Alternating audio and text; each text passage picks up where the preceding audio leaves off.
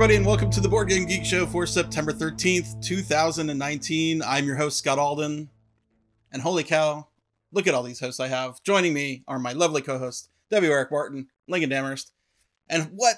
The brothers Murph, Nick and Mike Murphy. How are you guys doing? Oh, Hi. we found a way in with the back door. We and now we're infiltrated. here. Uh-huh. We're Wait, good. how'd you get on the Skype channel? I don't know. Oh, we're I don't know. We just we just call random people. Just roll with it. Yeah, and you know, you it know, worked remember out. no click. We're here. Well, it's great to have you guys. Thank you. Um, I want to move into BGG announcements right up front. Uh, the biggest change this month is the launch of the mobile front page. Not Yes. redesigned, but just uh, freshening up and uh, making it work on mobile phones. So no more uh, pinching and zooming on the front page. Yeah, Oh, yeah. so, uh, awesome. We're very happy to have that released. Uh, the designer Kyle uh, Gordy and myself are continuing to work on le- some legacy things to get just get them working on mobile phone. Um, this is not the redesign that we've been talking about for years and years. This is just a sem- temporary kind of fix for the older stuff so that you guys can use it on the phones. Like we surpassed more than fifty percent of the site traffic is mobile. I don't know if you guys Wow. Wow, is that mentioned right? before. Yeah, kind of crazy. Wow. So no more pinching and zooming when you're looking up rules. You're like, how do I move that pawn in tapestry? What does that mean? Like, you know. Well, we're happy to have that done, and of course, we're going to fix some of the older stuff as I mentioned before. Nice. All right. Also, a big announcement for this month, September 24th, the tickets for BGG Spring 2020 are going on sale. Can you guys believe it this year? How fast it's going? Yes, it's oh It's my too gosh, fast. That's so fast. That's so soon. So I'm gonna so I'm gonna say this once, and I'm trying to be as clear as mud. BGG Spring is back at the DFW Hyatt Regency. That's the Hyatt Regency inside the airport, or inside the airport grounds, I should say, and not BGG Con, which is in November, which is in downtown Dallas at the the Hyatt Regency Reunion Tower with the ball. Just think of the ball downtown. d- Just in- go in- towards the ball if Yeah. you're the Yeah, the ball. That's the one in If the it's fall. if it's fall, go towards the ball. Boom. Ooh. Mike nailed it. The BGG uh, Spring 2020 is over the Memorial Day weekend, which Eric has given me the dates, which is May 22nd to the 25th. Nice. So please Cool. join us. It's going to be fun. This is an all ages show, by the way. BGG Con is not all ages. BGG Spring is. So you can bring kids if you want. Cool. Aww. Oh. We gotta sit at the kids' table. We can only play Haba games, but we get to be there. Yeah, we only play something. we only play the kids games. It's Yeah. fair. I'm down. They're fun. So um, something that's coming up a little sooner than BGG Con is Essen in Germany, Spiel, The as Eric likes to call it. The Spiel, the Spiel. Uh, it's a, uh big game convention in Germany that we're going to go to and cover um, a lot of stuff. So Eric, why don't you give us an update of where we're at on the preview? I know there's a lot of games coming out, which is so crazy to me. Yeah. Eric. So right now our Spiel 19 preview has roughly 900 titles in it. Uh, Merz Verlag, the organizer, has announced 1,500 titles in their listing. We don't cover all the games for three and four year olds. That's usually like 100 of them right there. um, but I'll be adding more to the preview over the next five or six weeks. We are doing the live stream schedule as well. We are approximately three quarters full. We live stream for, I think, 41 hours Oh, with a new game every five or ten minutes. Uh, we're packing them in a little tight this year. Uh, Doug might be slightly overambitious in what we're doing, but we will make it work. We just tell everyone, you, "Here's how much time you have, and then get the hell out." Aside from that, pretty much. Well, Eric, you just knocked out your your your lunch breaks are now off the schedule. I mean, what? Yeah. Yeah, yeah, that's time three for games food. right there. yeah. There's no time for some Um, schnitzel. Yeah. Yeah. Mm-mm. This year, we instituted pre orders where publishers can set up pre orders so you can order a game ahead of time and know that it's waiting for you when you get to Spiel. So, if you are not going to Spiel for some reason, you can order games and pick them up at BGGCon in November or have them shipped to your home if you live in the contiguous United States. This is called the Cardboard Caravan. It's done in collaboration with Fun Again Games, and those titles that you can pre-order for pickup at BGGCon or shipment to your home are listed in the Spiel preview. You can click on a pre-order button and it will say pick up at Spiel or pick up at BGGCon or order for your home. And the prices are different because the publisher sets the pre-order price if you're picking it up in Essen at the show And Fun Again sets the price if you're picking up elsewhere, which you have to factor in double shipping because they're shipping the games from Essen to the US and then from the US to Dallas or to your home. So that's that's Yeah. the reason behind the different prices there. Yeah, it's uh there's not currently a way to see the cardboard caravan separate from pre-orders, but that's my job. I'm gonna fix that today. Oh wow. Awesome. Oh, Tonight. Today. So Wow. back Should- in time, I'm we're doing time machine thing. Yeah. By the time you watch this show, It should be Yeah. working. So you're welcome for it already being done. You're isn't that crazy how time travel works? It's so fun. Cool. So one more announcement for BGG. I'm gonna let Lincoln take it, and the brothers Murph talk about the In Focus video series that we just launched. So Lincoln, take it away. Yeah, the In Focus series is something that uh, Scott and I have been working on for a while, and it's a series of videos designed to uh, highlight new games coming out and potentially older titles that publishers are trying to get more awareness on.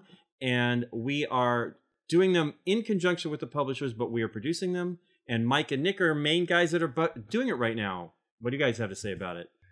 Um, yeah, so it's it's kind of like a little. Uh, we kind of think of it as kind of like a movie trailer. It's to get you interested in the Yeah. game, so that you can then, if you are interested in it, look into it more. You can start reading some of the forums, watch like a whole how to play video. Yeah, it's or- a jumping off point. Do I am I going to be interested in this game? Let me watch a 2 to 3 minute video just to see what's in this thing, what does it look like, what's it feel like, and then you can continue to Yeah. do research from there. Because a lot of us, and I can say myself very much included, like I, I just don't have the time or the patience to watch a review on like every single game that comes out, and so I just kind of want to know: Am I interested enough to look into this further? And that at least is how we kind of are approaching this series: is like giving you a snapshot, kind of a movie trailer, and just show you like what the game's about, the heart of the game, so you can make an informed decision of whether or not you want to look into it further, and then maybe potentially get the game down the line or or whatever. And so that's kind of how we're dealing with it. And they're super fun to do, super fun to film. Yeah. And yeah, it's a little bite size. Mhm. Yep. And we've been working with a bunch of different people to dev- uh, to produce the videos. Um, as the in the beginning, Mike and Nick are going to be doing most of them, but hopefully, as we grow with the the series, we'll have a lot more people doing them. Rodney will probably still be doing some occasionally and stuff like that. That's the hope. Yeah. Yep. Yeah. Absolutely. Right. I really like the the movie trailer is kind of the exact kind of same thing as what we're talking about. So Yeah. yeah, Yeah. it's the movie trailers for board games. The Yeah, movie pretty trailer much. for the board That's- game. Yeah, that's right. That's the that's the that's the plan, you know. It's gotta Give make them them a look taste. cool, you know. That's it. exactly. And Yeah. thanks again for bringing us on. We're, Yeah. we're super excited. Appreciate be the doing them. opportunity. Yeah. If you're a publisher and interested in our In Focus videos, get a hold of me at Lincoln at BoardGameGeek.com and we'll get you the information about the program. Great. Moving on to everybody's favorite segment. What have you been playing, Eric? I know what you've been playing. I'm jealous. Jenga. What is it? Yeah. What is Deep Blue? What's Deep Blue? Deep Blue is a game coming from Days of Wonder from Daniel Skjold Pedersen and Asger Harding Granerud. Yes, got their names.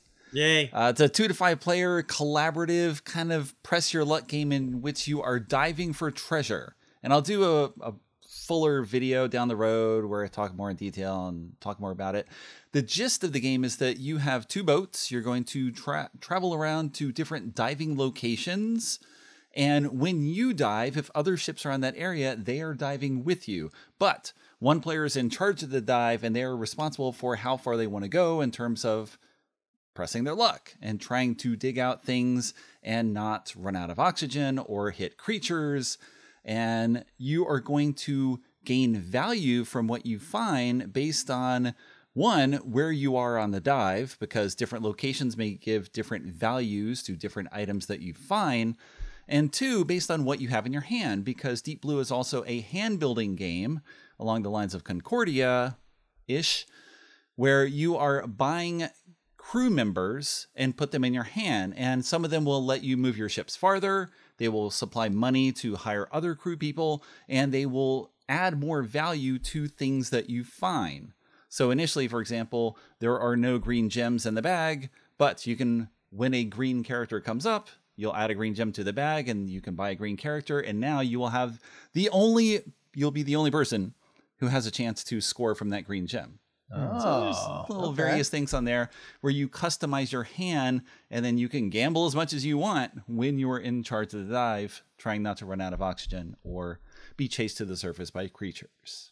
Oh. Okay. Ooh. There you go. Very cool. How's the art?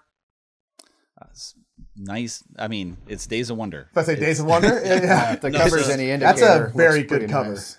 Yeah. Oh, so wow. Ooh. And it's a standard big box. It's got plastic treasure chest inside so you can keep your ancient coins because that's all that matters in the end is how many ancient coins you have. Everything gets converted to ancient coins. I'm not sure what sort of market system that is. You know, That's what people are looking for on eBay. If it's treasure, it's like, well, it better be doubloons or something like that. And like, I got ancient coins. There you go. Points. I like it. Right.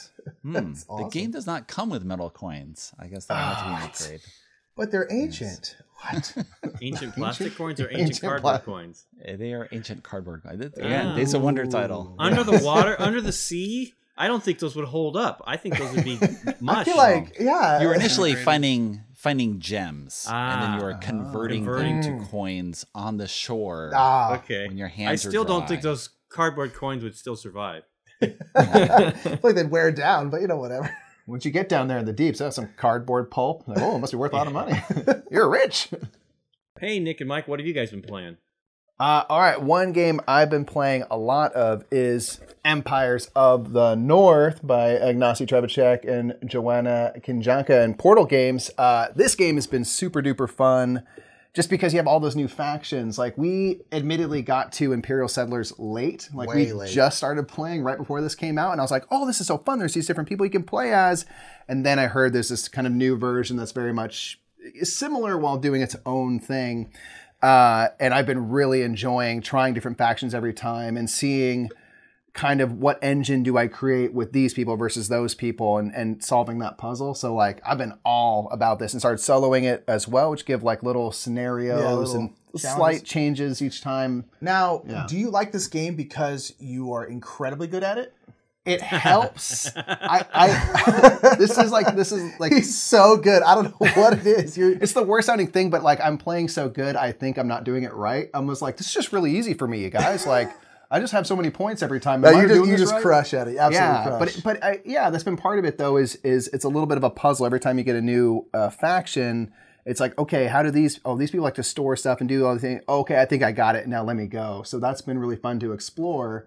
And I still haven't gotten through all the factions even. So that's been this has been my jam lately. Yeah, it really all has about been. it. Well, and I like the fact that in the base of this, you get six factions. Yes. Whereas Imperial Settlers only got four. Right. Which is just, and the more factions are better. You know, just, yeah. that's my thing. It's really good. That's just me. It's really what about really you? Me, An expansion, I'll mention, an expansion with two more factions will be out at Spiel. at Spiel, really? Uh, can oh, that's even not, more. Holy factions. that's might have not to good. That's not to pre-order know. that. That's not good to know. I know. Here we go. oh lordy.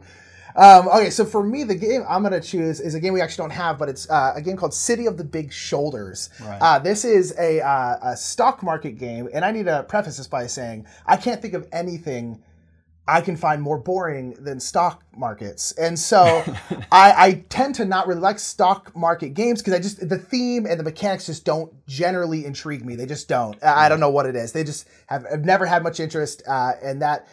Uh, God, maybe that'll be that might be changing now. I'm not entirely sure. Apparently, man. Because uh, I played City of the Big Shoulders at our, our local con recently, um, and it was told hey, it's a big stock market game uh, set in like old time Chicago, and it's worker placement, which is how I think uh, our friend got me to play it because I'll play anything worker placement, and so I was just like, ooh, okay, we'll try it, and it was, it was so amazing. It was so good. So it's a game. So you're in old timey Chicago in 18 like 75 or so, and uh, you're getting companies and you're getting stock in the companies. When you get a company, you buy 30% of the company, and then you have what's called the director's share of it.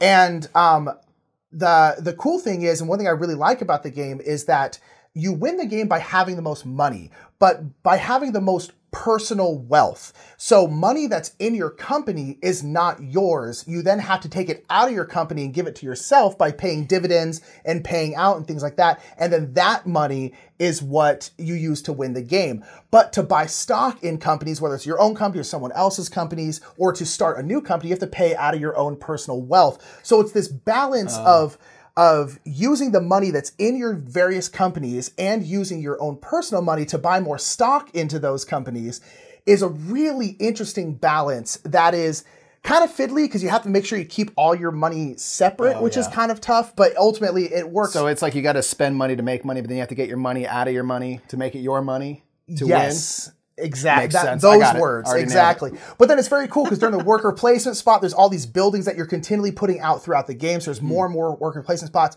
But the cool thing is, is like, so say I'm going here to get workers to put into Oscar Mayer. Like I had Oscar Mayer, which is one of the companies. Um, my company is paying for that, not me personally, because the workers are going to the company. So it's really beneficial for you to kind of like, not necessarily blow all your company's money, but that money isn't points at the end of the game. So it's beneficial for you to like use it as much as possible. Cause also as you sell goods, more money is coming back into the company. And so it was this very interesting um, balance between all of it. And I, I can't stop thinking about it. and it's, I was blown away that I liked a stock market game this much. And it was absolutely incredible.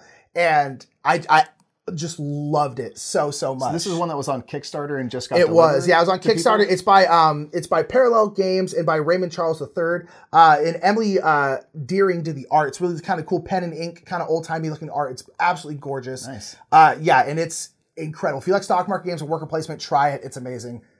Oh, So I'm good. curious, Nick. Did you have you ever played an 18xx game?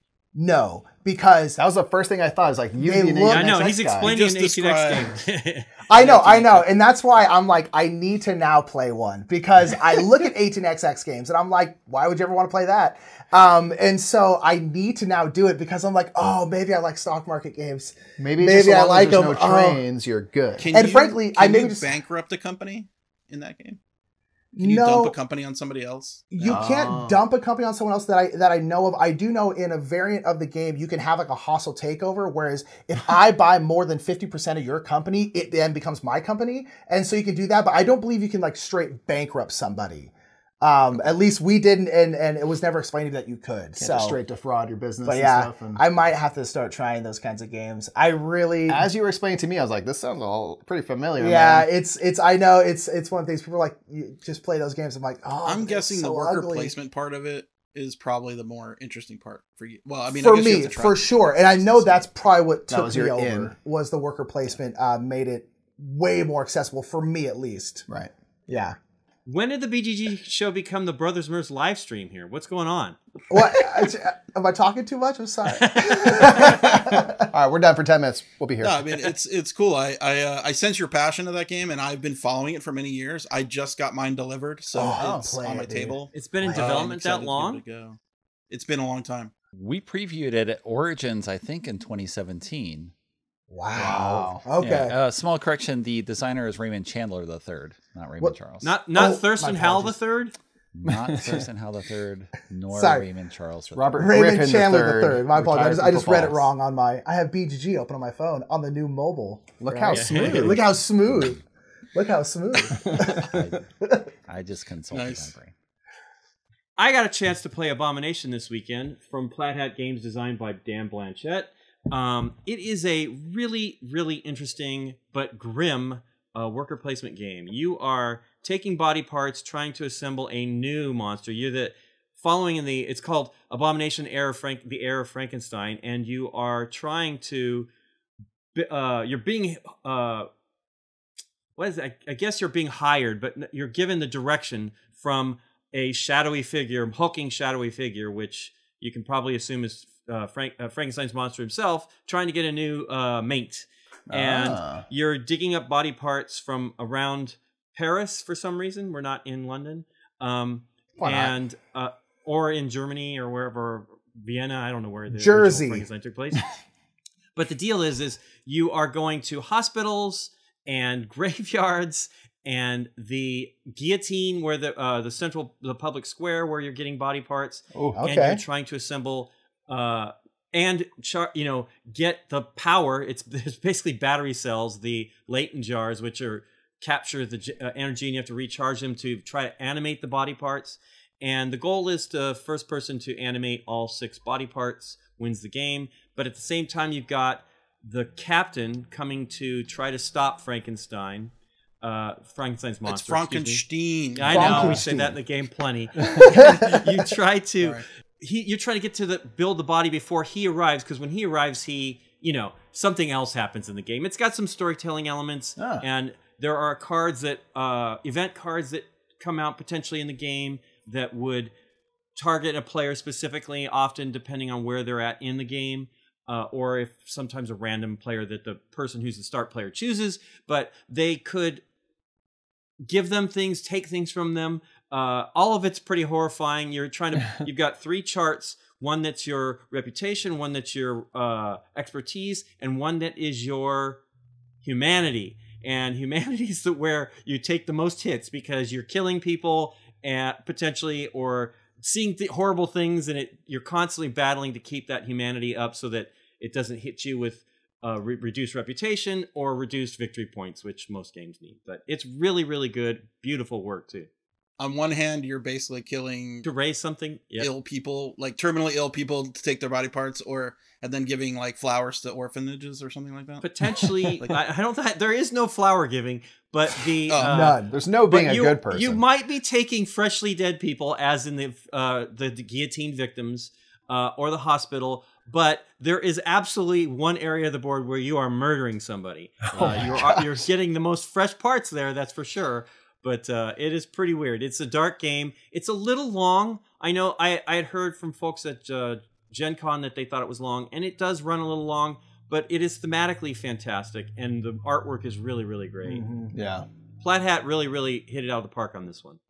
Yeah, I'm excited to try it. I just Yeah. when I started hearing about like, well, if you want fresher body parts, you can just go to that crowd where someone just got executed and be like, I got it from here. Don't worry about this. Yeah, yeah. You know? and I was The, like, the illustration is the head is separated from the oh body. my it's gosh. pretty, it's all pretty so grim art. awesome. Yeah. Now, do you have to follow like a general body, or can you give him like seven legs? Oh yeah. It's any six body. Can you parts. just go like leg, leg, leg, leg, leg? Because that'd be metal. The puzzle, you do need the. I mean, you're satisfying the monsters, so Oh, okay. he wants a satisfactory body. What he doesn't he want now? two left hands. Uh, Very and- picky. But yeah, the pieces do go together. We were joking about that. Like, can we give him two left hands? It doesn't work quite that way, but uh, uh, it, it's pretty great. All right, Right on. Scott, what have you been playing? Okay, so I've been playing Tapestry. Oh. Rodney brought it on the cruise, and I played it the very first night with him, and then I borrowed it from him a couple other times. Uh, and I know we got to play it Lincoln together, and I played Yep. it another time after that. Um, and I really love it. Um, hopefully, you got a chance to pre-order it. If not, I'm assuming another print run is following very quickly. I- can. I Uh, believe so that they're available from another vendor right now. Oh, okay. The main print run, I believe, is reserved for retailers. In response to Wingspan largely not being available at retailers, Stonemaier went the other way and did a relatively small pre-order uh, allocation, Yeah. with the rest of it going to retailers. Okay, I see. My understanding, anyway. Tapestry is a two-hour civilization game where you weave the tapestry of your history of your civilization with a special power, and moving up these four tracks on the board. The four tracks are military, science, technology, and exploration. And to do so, you are spending resources. So the game is very much a resource collection game. You collect the resources, you spend them, you move up the tracks, you get more resources. You keep repeating that, you score points. I've just made it sound very boring. but basically, That's it. the cool part is all of the civilizations are like they're so asymmetric, right? Like your civilization will let you maybe just advance in science very quickly. Like you're the alchemist, right? You're doing experiments as a little push your luck mini game, whereas another uh, civilization, the the um, futurists, start on level four of every techno- of every track, so they got a huge jump, but they didn't get the bonuses to get there, right? So they they're advanced up the tracks, but didn't get the first four. So everybody's got a different one. In addition, all the tapestry cards are super powerful, right? So when you when you advance to a next era, you play a tapestry card. And that tapestry card, the power, the powers are just so crazy. Like you're like, wow, that power is amazing. And then someone else plays another one. It's like, wow, that's even more amazing, right? So you're kind of getting this super powered where you feel very powerful in the game as a civilization.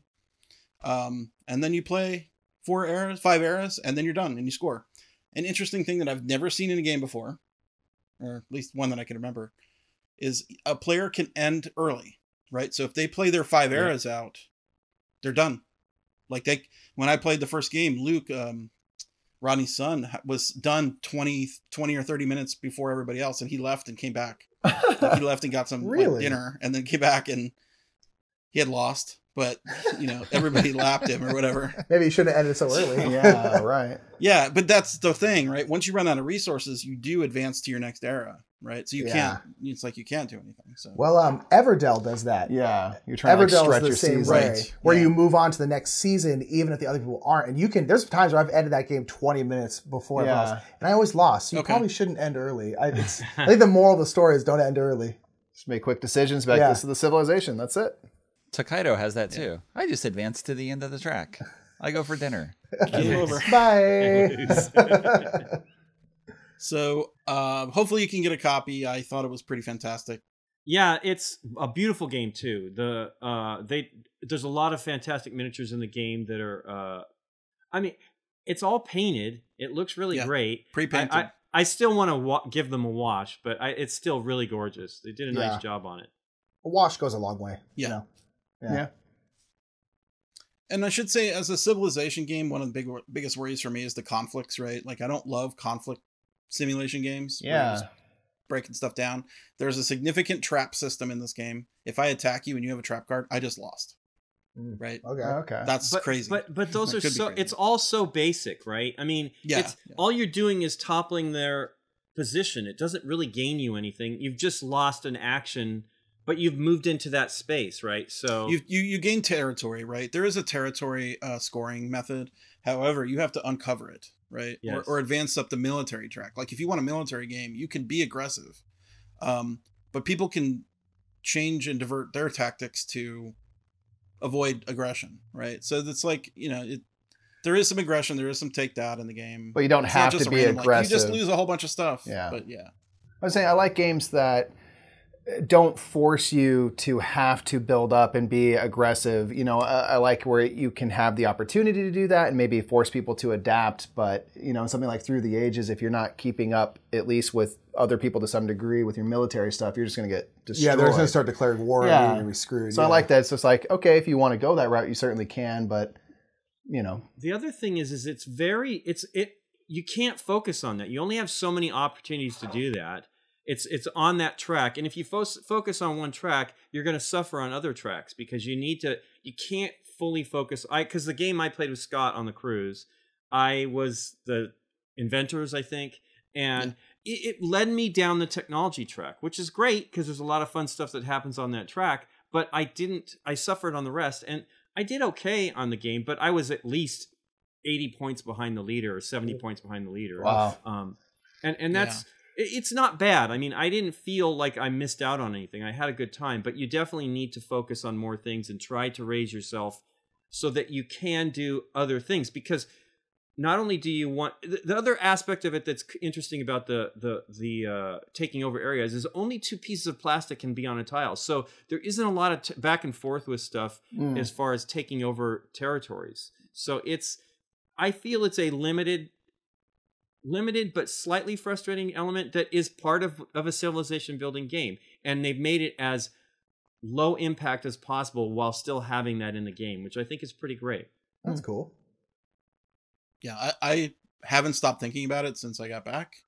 Uh, I'm excited to get my pre-order copy, um, and then play it a few more times and see if you know really kind of explore it. There's just so many, like literally every civilization is just such a game changer. You play the game differently based on what civilizations you have. that's really and there's an option of of getting a second civilization. I believe you got a second civilization Correct. I got in the your game, uh, right?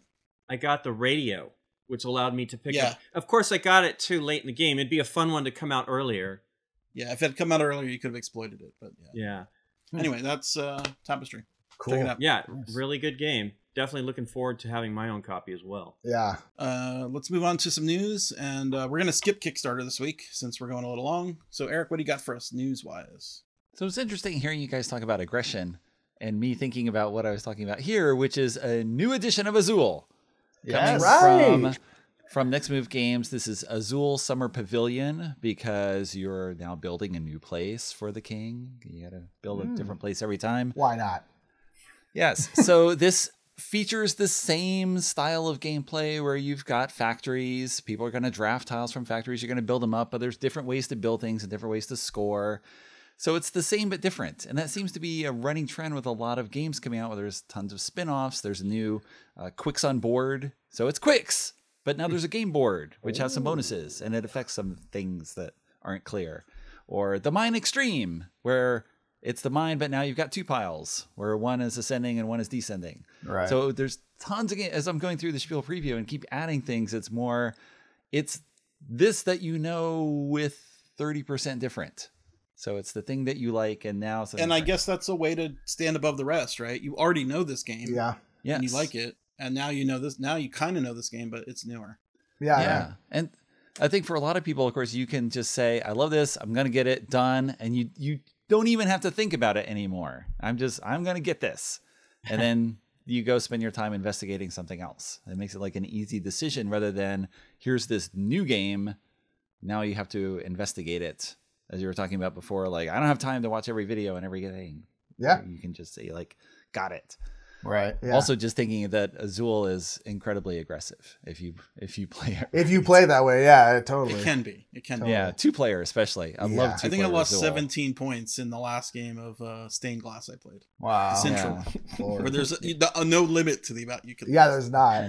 Well, I feel like that's uh, a common thing now with roll and writes. There's a lot of like roll and write versions of Sure. games where it's like it's similar, but there's enough change where it's like a whole new thing. Yeah. You know, oh, I know I like this thing, but how do they twist it? Yeah. He just mentioned Qwixx is going from a roll and write to, To a a board, board game. game, Yeah, it's exactly. going the other direction. now. right? Yeah. They'll, Exactly. they'll just be keep it's Ouroboros. it's just They're going just to gonna keep going. Yeah, it's gonna keep doing this over and over again. Uno, dice. Uno. Yeah, Uno. exactly. There right? you go. Yeah. And I want to Yes. play that, and I don't. I don't want to play Uno, but I'm like, well, what's? I do dice now. Uh, What's going on? Those you know? different. It's- I did the. Skip-Bo one recently, which Yeah. is just like none of us had played Skip-Bo in like 20 years. Yeah, right. You're we like, all knew the rules, so that's right. let's carry on from there. Yeah. I've never played Skip-Bo. You've never played Skip-Bo. I, Oh, I played with not Skip It. Remember Scott. Skip It's Yeah. from the '90s? Yeah, Great cool. toy. Is that the thing where you put it on your leg and it's, Yeah, it goes you spin around, it around, with the jumper? Put a ball and chain and whip it around. It was good exercise. Those were really hard. Yeah.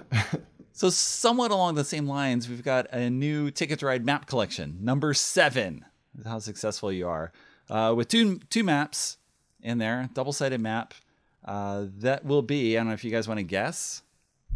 I can say it. Oh 'cause gosh. It'll be announced by the time this goes live. Ooh, Japan's a good one. Japan Canada? is correct. Japan is correct. Okay. Okay. Oh, for yes. one side. Yes. Okay. There's been a ticket to ride Japan that's been in the works more than a decade. I remember Alan talking about it a long time ago. Wow. So this is Wow. something different. They haven't released the rules yet. I don't know all the details, but it's a long map because it's Japan. Yeah. So Yeah. what's on the other Also, uh, side? oh, what other long? It's- Italy. Oh. Italy. Oh, There oh, no. Not not Boom. Cuba. I did not know. I did not know I that. Ooh, guess Cuba would've been Akron. Ohio. Or something There like you. Chile, just incredibly long, but like Yeah. it's Yeah. just Just one train that'd be route so up and down. intense. Ooh, Italy, Japan. That's interesting. yeah, and again, it's like the same but different. Yeah. I know that I like it, and now what's the twist? Yeah. Yeah. What's the new thing? Yeah, yeah. Right. Did they put all those expansions in boxes? The map collection ones. Yeah. Because I saw your your teaser picture on Twitter earlier today. Yes. But like, I did they put? Because I remember they were not all in boxes. No, they are all Or in boxes. It, you're thinking of Power oh, they were Grid. thin. They're all in thin boxes. Yeah. Okay. Although the boxes have gotten a little fatter, the the sixth one, the the UK and the Pennsylvania one, is a lot fatter because it has more cards in it, Yeah, that's true. and I believe like a quad, you know, a fourfold board. I forget the details of it, Right. but it's a fatter box, and this one is also fatter as well because it says it's their longest map ever. Ooh. There you go. So it's it's quad folded or Yes, I six think- folded or something. I think so. We'll see. Tri folded. Cool. Congrats to Alan for For your You did it. Continuing, yes, more, more, more. Uh, on the other end, so from the things that you know to the totally obscure, it's an interesting little news item where at least two game publishers from Iran will be at Spiel with their titles, Reality Game and Dorehami Games. However, there's been some complications getting there because of U.S. sanctions. oh. Oh, As a result of the U.S. sanctions against doing business with companies and anyone in Iran, none of the German shippers are accepting packages from Iran uh, for delivery to the Messe and Essen. Oh. So weird. the companies primarily are going to bring extra pieces of luggage or ship the stuff with them on the plane and just pay for the shipping, the the cost of the extra packages on the plane. So if you want these items from Dorehami Games and Reality Games, pre-order because they are not going to bring much more than they are pre-ordering apparently. Wow. We're Okay. trying to find licensors because if someone else publishes the games, then people can get them anywhere. But Hmm. being Wow. published in Iran, So I remember there was a game from. Iran last year, right? Deja. Was, Yes. uh, Uh, new Deja, version which of was Citadels. Citadels. Yeah. Yeah. Citadels, yeah. Wow. Yeah. The I think they will be back again as well. Um, I haven't heard from them yet.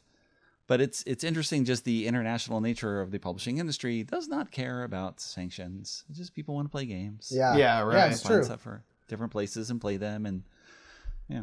Wow. so it's interesting just sort of the politics getting in the way there. Yeah. Just a bit. Are individuals prohibited from bringing in games like sanctioned items from other countries? Not Like I know you can't get a Cuban but- get, get cigar, right? Like, can you get a? That's right. I should say Iran state that I am not a lawyer. I don't know. I'm just one. It's a thought process I'm going through right Yeah, now. I don't Like, How are we going to get these games back? Because we do Uh, go through a customs process. Yes. I don't yeah. know. I don't, But I mean, we're getting them Yeah. from Germany. We are not. Yeah. We are not doing business with Iran. but if they're made in Iran, it'll say it on the box. Hmm. I don't know. Well, we'll talk about that. That's Worry right. about We'll it. have to see. Right. We plan to interview both of them. At least that's that's the hope. So Oh, yeah, maybe we maybe we ship those games in a separate box that will. Uh, Or we just bring a- them in your in your luggage, right? Like, Yeah, Yeah, although apart yeah, I don't know. apart. We don't want pallets held up. It'd probably be worth looking into. Yeah. No, the pallets. Yeah, the pallets have to be clean. What- what- let's say no problems, no no Yeah. questions. Yeah. Right, Yeah. yeah, no right. they can't be in there. I, I would imagine because that would be uh, disastrous for our uh, Oh yeah, huge pain. coming to BG. No disasters. It'd be absolute pain. Yeah. Oof. Well, that's great. Yeah. I'm gra- I'm excited to see what those games are because those are Yeah. unique titles instead of just reprints. Absolutely. It's true. Yes. Yeah. Those are new titles, and it's just again, it's interesting to see what comes out of different countries just because they have different backgrounds in their games. So they're drawing on different references, different cultural touch points. You know, Indonesia again is going to have a giant booth uh, with a number of Indonesian games, which I think they're still deciding on at this point because they haven't sent me the list yet. Last year they did a competition where there were forty something games, and they chose I think fifteen or so. Wow. That's awesome. So, yeah. Fantastic. Again, there's all these sort of booths there. There's a games from Spain booth. There's a games from France booth. They're doing a lot of country specific ones, I guess, for these smaller publishers to uh, put them all together. Cool. Very cool. So Spiel is as big as it's ever been. We get to go back in through the front door, Yes. right? Uh, Yes. We don't have to walk the half mile around the side of it to get in. Eight, uh, Um, 87,000 square meters of space. Wow. 7,000 larger than in 2018. Wow. Jeez. Yeah.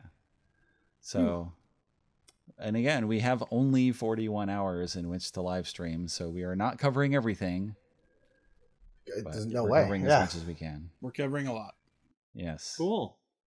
All right, that wraps up another episode of the Board Game Geek Show. Thank you, everybody, for watching. Yes. Thank you to my lovely co-hosts, W. Eric Martin, Lincoln Damerst, and Nick and Mike Murphy, the Brothers Murph. Why don't you guys tell us what you got coming up? Uh, we, as always, are doing things on our uh, YouTube channel at the Brothers Murph. We do a weekly segment called Metagame Minute where we talk about something in the hobby uh, and trying to get discussions going. And then we live stream on Twitch Is it as well. Is it actually one minute? No. no, listen Yeah, how that's what I long this figured. episode went. Do you think anything is going to be a minute? Yeah. I, well, no, I know you guys. So I know that it's See, not with possible In for anything Focus, to be we're one on a minute. script. Yeah, and then In we have Focus, to we're stay on within- scripts. That's nice. I'm just as guilty as you guys. So Yeah. I, I We're can't. I cannot talkers. cast stones for, for sure. yeah, Yeah. We enjoy Um, talking about the hobby, so yeah. that's, that's what we got going on. And then we live stream good. and then in focus. Yeah. So uh, Yeah. a lot coming up. We're really pumped about it. Yeah.